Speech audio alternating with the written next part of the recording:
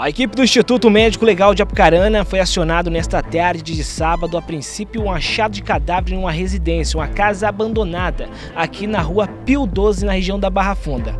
As equipes da Polícia Militar foram acionadas primeiro no local e constataram aí que um homem pendurado em óbito nesta residência. E o cabo Ribas da Polícia Militar, quem nos vai trazer mais informações desta ocorrência. Isso positivo, a gente foi acionado pela Central de Operações aí, informando onde vizinhos aí, é, juntamente com o Andarilho aí, que encontrou esse rapaz aí nessa residência abandonada aí, aqui na, na rua Pio 12 os procedimentos quando a equipe chegou no local?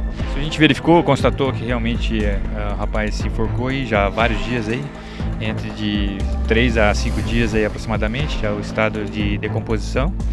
Acionamos aí o ML, isolamos o local aí, como também a Polícia Civil aí para futura eh, identificação do mesmo aí.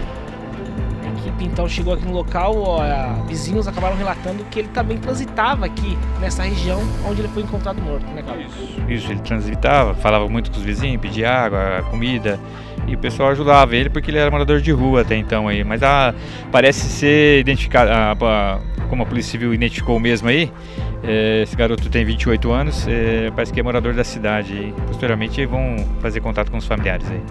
Agora, qual que é os procedimentos da polícia? A polícia já, já fez o boletim de ocorrência, né? Acionou os órgãos competentes aí, no caso a ML e a, e a Polícia Civil, aí futuramente a Polícia Civil fazer contato com os familiares para é, fazer o, o enterro do garoto aí. 38!